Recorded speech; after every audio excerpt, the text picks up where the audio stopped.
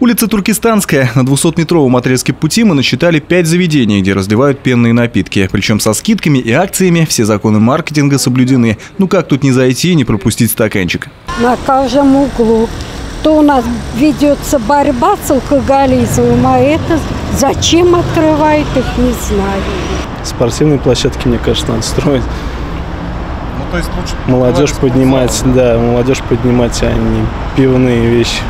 В пивные дела вкладывать деньги.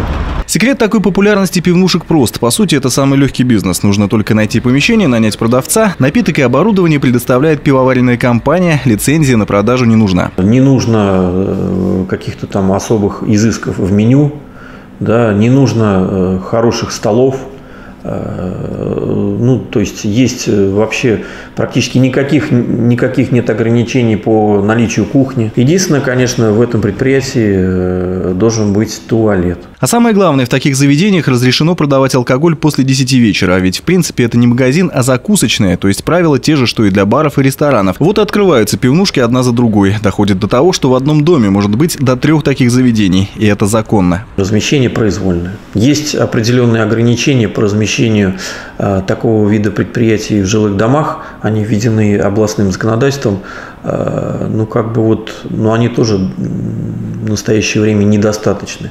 Да, поэтому в основном, конечно, запретов никаких нет на размещение таких объектов. А еще пиво не воспринимается многими как алкогольный напиток. Крепкость ведь ничтожная, но старые добрые химикаты, которые содержат пенные, никуда не делись. И чрезмерное потребление, что называется, чревато. Пиво э, в силу своего состава химического приводит э, к изменениям э, обмена веществ, гормонального обмена и как следствие этого возникновения у людей, чрезмерно употребляющие пиво,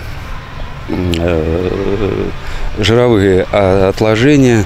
У мужчин это, так сказать, приводит к импотенции. Да и по поводу качества напитка не всегда можно быть уверенным. Проверки проводятся редко, да и то, как правило, только после обращения тех, кто уже отравился. Плановые проверки проводятся, к сожалению, да, не так часто, раз в три года. И, как еще раз хочу сказать, что э, их количество практически уменьшилось. Э, для начинающих предпринимателей то же самое есть ограничения, да, их три года нельзя проверять. Поэтому наиболее эффективно все-таки это внеплановые проверки по жалобам жителей. Несмотря на это, пиво по-прежнему едва ли не самый ходовой товар в стране. Сколько бы ни объясняли населению его вредность, люди все же прикладываются к кружке. На сегодняшний день каждый житель, по статистическим данным, каждый житель России потребляет 60 литров пива в год. Вот.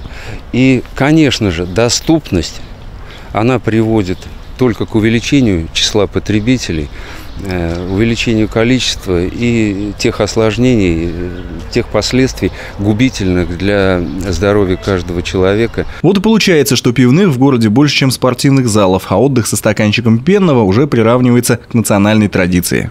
Сейчас в Оренбурге насчитывается не одна сотня так называемых пивнушек. Особенно летом, когда прохладительный напиток особенно популярен, число таких заведений всегда резко подскакивает. К вящему неудовольствию борцов за воспитание здоровой нации и приверженцев здорового образа жизни. Впрочем, пока будут желающие выпить, будут желающие и предложить. Основополагающий экономический закон о спросе и предложении как нельзя лучше отражен на примере оренбургских пивнушек.